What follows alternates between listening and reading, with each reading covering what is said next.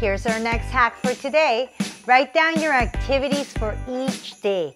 Be realistic and stick to it. There's something about seeing a list that helps me center myself and to know what I have to do. However, be sure you are being realistic about what you really can do or cannot do. Don't overextend yourself to the point that you don't matter. And this is critical.